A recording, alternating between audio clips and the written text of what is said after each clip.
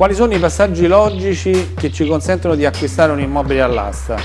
Individuato l'immobile, vado fisicamente sul posto e mi rendo conto se il contesto di zona è a me gradito.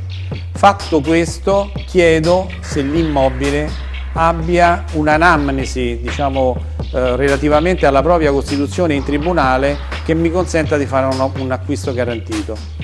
Questo è il passaggio logico più delicato che ci consente di arrivare al Red Nazionem con la capacità di discernere l'immobile che possiamo acquistare dall'immobile che potremo invece lasciare andare per essere tranquilli.